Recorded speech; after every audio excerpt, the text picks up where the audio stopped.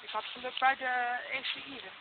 Daar zijn al jaren lid van en dan kreeg je uh, toestaan, dan hoef je maar de helft van de maandkosten uh, Ja, dat hadden wij uh, bij die andere, die we nu zeg maar een beetje schone telefoon gebruiken, hebben we dat ook. Ja.